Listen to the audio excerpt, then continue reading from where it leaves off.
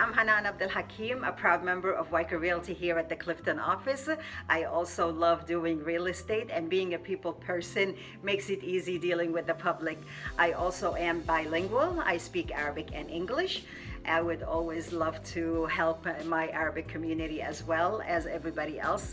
If you are interested in selling your home, buying your dream home, downsizing, upsizing, please call me or email me or text me at the information that you see below. And please do not forget to browse my website.